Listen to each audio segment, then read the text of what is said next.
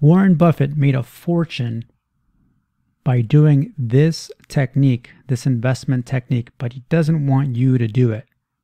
You mentioned that 56 to 69 was the best period. Actually, my best period was before that. It was from right after I met Ben Graham in 19 early 1951, but from the end of 1950 through the next 10 years, actually returns averaged about 50% a year. And they, I think they were 37 points better than the Dow per year, something like that.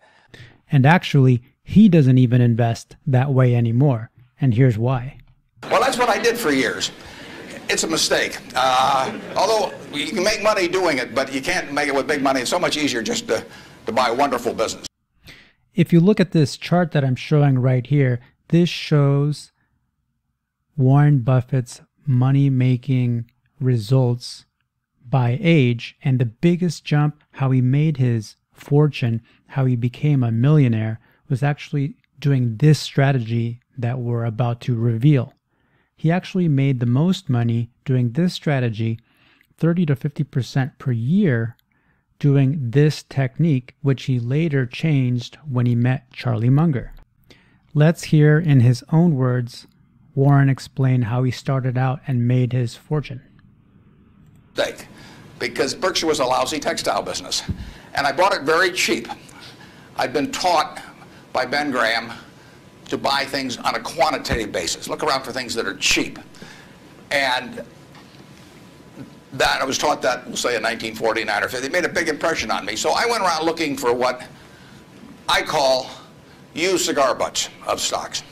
And the cigar butt approach to buying stocks is that you walk down the street, and you're looking around for cigar butts, and you find this on the street, this terrible looking, soggy, ugly looking cigar, one puff left in it. But you pick it up and you get your one puff. Disgusting, you throw it away, but it's free. I mean, it's cheap. And then you look around for another soggy, you know, one puff cigarette. Well, that's what I did for years. It's a mistake. Uh, although you can make money doing it, but you can't make it with big money. It's so much easier just to to buy wonderful businesses. So now I would rather buy a wonderful business at a fair price than a fair business at a wonderful price. But in those days, I was buying cheap stocks. And Berkshire was selling below its working capital per share. You got the plants for nothing, you got the machinery for nothing, you got the inventory and receivables at a discount. It was cheap. So I bought it. And 20 years later, I was still running a lousy business. And that money did not compound you really want to be in a wonderful business because the time is the friend of the wonderful business. You keep compounding, it keeps doing more business, and you keep making more money. Time is the enemy of the lousy business. I could have sold Berkshire, perhaps liquidated it, and made a quick little profit, you know, one puff. But staying with those kind of businesses is, is, is a big mistake. So you might say I learned something out of that mistake, and I would have been way better off taking what I did with Berkshire is I kept buying better businesses. I started the insurance business, See's Candy, the Buffalo, all, all kinds of things. I would have been way better doing that with a, with a brand new little entity that I'd set up rather than using Berkshire as the platform. Now I've had a lot of fun out of it. I mean, everything in life seems to turn out for the better, so I, I, I don't have any complaints about that, but it was a dumb thing to do. So there you go. He said it right there. He learned from his mentor, Benjamin Graham, author of The Intelligent Investor and Security Analysis, to buy companies so cheap it didn't make sense. So cheap that you almost couldn't lose money. Below working capital, below tangible book. The stock price was so low, it was below the money on the books. And that was the way Warren Buffett made his big jumps. He had partners, so he would get capital from the partners and they would split the profits. But he would find these super cheap stocks and get that one jump in value.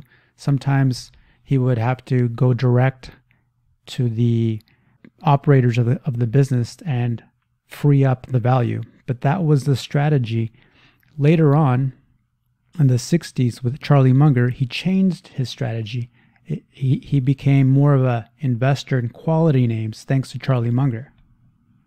Two short questions. One is how do you find intrinsic value in a company? Well, intrinsic value is what is the number that if you were all knowing about the future and could predict all the cash that a, a business would give you between now and Judgment Day, discounted at the proper discount rate, that number is what the intrinsic value of a business is. In other words, the only reason for making investment and laying out money now is to get more money later on, right? That's, that's what investing is all about. Now, when you look at a stock, when you look at a bond, assuming it's the United States government bond, it's very easy to tell how much you're going to get back. It says it right on the bond. It says when you get the interest payments, it says when you get the principal. So it's very easy to figure out the value of a bond. It can change tomorrow if interest rates change. But you are, the cash flows are printed on the bond. The cash flows aren't printed on a stock certificate. That's the job of the analyst is to print out, change that stock certificate, which represents an interest in the business, and change that into a bond and say, this is what I think it's going to pay out in the future.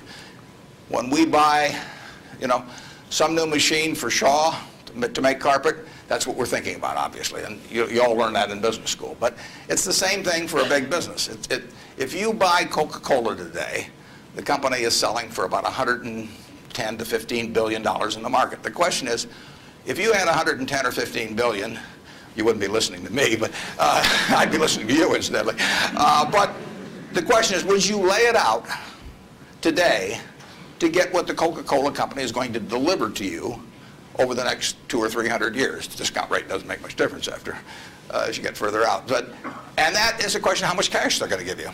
It isn't a question of, you know, isn't a question about how many analysts are going to recommend it or what the volume in the stock is or what the chart looks like or anything. It's a question of how much cash it's going to give you. That's the only reason. It's true if you're buying a farm. It's true if you're buying an apartment house. Any financial asset. Oil in the ground. You're laying out cash now to get more cash back later on. And the question is, is how much are you going to get? When are you going to get it? And how sure are you? And when I calculate intrinsic value of a business, when we buy businesses, and whether we're buying all of a business or a little piece of a business, I always think we're buying the whole business because that's my approach to it. I look at it and say, what, what will come out of this business and when? And what you really like, of course, is them to be able to use the money they earn and earn higher returns on it as you go along. I mean, Berkshire has never distributed anything to its shareholders, but its ability to distribute goes up as the value of the businesses we own increases. We can compound it internally, but the real question is, Berkshire selling for, we'll say, 105 or so billion now. Uh, what can we distribute from that 100? If you're going to buy the whole company for 105 billion now, can we distribute enough cash to you soon enough to make it sensible at present interest rates to lay out that cash now. And that's, that's what it gets down to. And if, the, if you can't answer that question, you can't buy the stock. You know, you can, you can gamble in the stock if you want to, or your neighbors can buy it. But if you don't answer that question, and I, I can't answer that for, for internet companies, for example. There are a lot of companies, there are all kinds of companies I can't answer it for, but I just stay away from those. So the main difference between the cigar butt net net cheap strategy is you would get one bump, one gain, maybe maybe 50% or 100% best case. And that would be it because it's not a great business. It's a cigar butt. You're just finding a discount and then you're realizing the discount. And that was how he made his money. But he doesn't recommend that anymore. He believes that you should buy quality businesses. Uh, I believe it was Phil Fisher that influenced Charlie Munger and then influenced Warren Buffett. But then you buy a quality business and it keeps growing over time. One example is their Costco trade. They were in it for 20 years and they got, I believe, around 900%. So a cigar butt, maybe 50 to 100%, but a quality business for a long period can give you hundreds of percents. And here's the math. He's going to explain it, and it's going to be discounted cash flow analysis.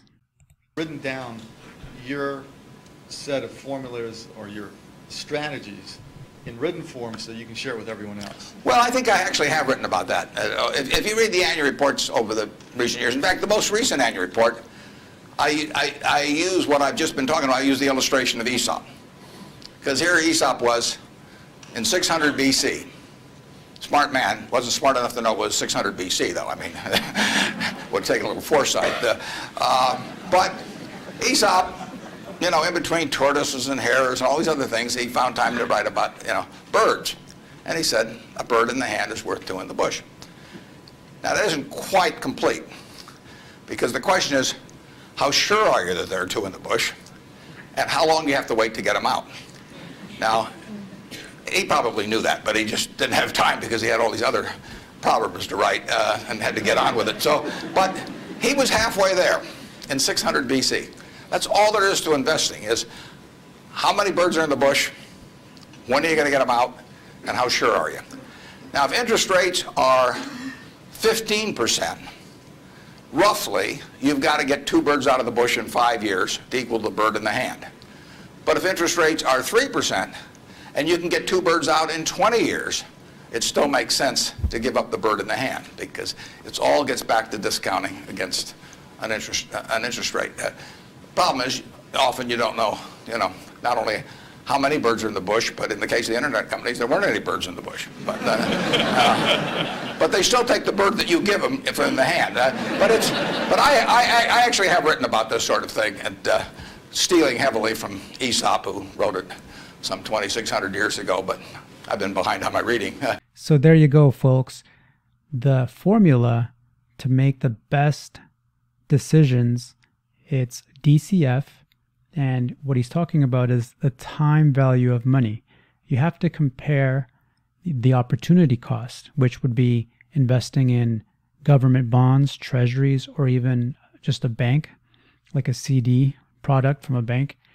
The money has to work and earn. So if you're going to buy a stock, it has to compete with other investments. And that's what he's talking about when he's saying a bird in the hand is worth two in the bush the two in the bush are not guaranteed.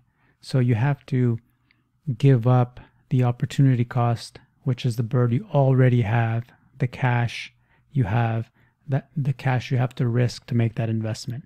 And that's his point. DCF for the future, sometimes it's harder to do. Future investments, quality companies at a good price. That's what he does now. What he used to do the style he doesn't recommend anymore was the cigar butt, buying super cheap, tang- below tangible book, you know, rich in working capital, but the price was below that. That was the old way. That's how we did it. You can actually still find them, but uh, not as good as just buying a quality company and holding it for a long time and letting the money work for you over time. Hope you found this helpful. I love this topic and I thought I knew it, but once I dug in deeper, I learned so much more. Cheers.